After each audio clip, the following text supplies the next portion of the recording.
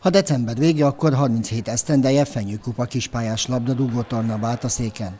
A sok évtizedre visszanyúló rendezvénynek kezdetben Decs és Dunaszekcső volt a helyszíne, ám az 1985 óta létező Bátaszéki sportcsarnok átadása óta itt zajlanak a mérkőzések. Idén 24 profikból és amatőrökből szerveződő csapat méri össze tudását.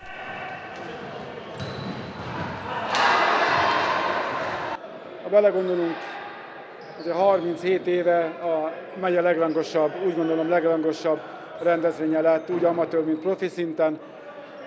Nagy létszámban, vannak, nagy létszámban vesznek össze rajta a csapatok, 12 amatőr, 12 profi csapat, két-két csoportban mérkőznek a négy nap alatt. A hangulat már a selejtezők idején is kiváló volt, ám ahogy a szervezők remélik, a döntőre már egy tűt sem lehet majd leejteni, annyi lesz az érdeklődő.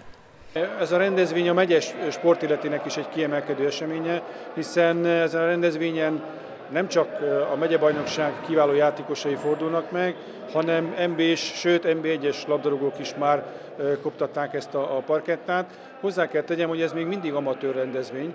Különleges presztízse van ennek a versenynek, mondja Bozsodik Robert, aki 12 éven át volt gólkirálya a tornának. A győzelem még a profik szemében is jelentős dicsőséggel bír. A Fenyőkupa döntőire december 30-án kerül sor a Bátaszéki sportcsarnokban.